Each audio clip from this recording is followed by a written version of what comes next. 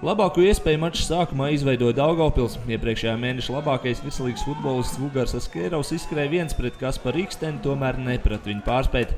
RFS atbildi parādā nepalika. Leģionārs no Burundī Kaleps izniekoja labu iespēju no vārta priekšas, pēc tam līdzīgi izrīkojās vairāk viņa komandas biedri. Drīz vien Daugopliešiem vēl viens ātrs pretuzbrukums un otrais savu momentu Askerovs garām nepalaida.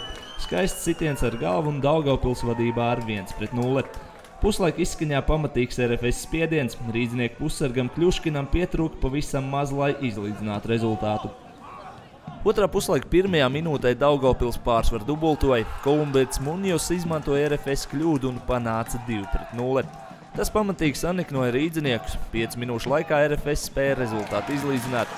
Vispirms Bulvīts bija precīzi sitot ar galvu, pēc tam Slovāks Malets guva vārtus no pašas vārtu priekšas. Uz tablo neizšķirts 2 pret 2.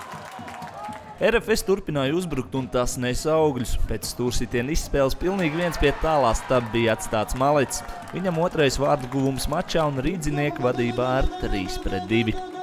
Daugavpils izglābties nepaspēja, līdz ar to uzvaru ar 3 pret 2 svinēja RFS.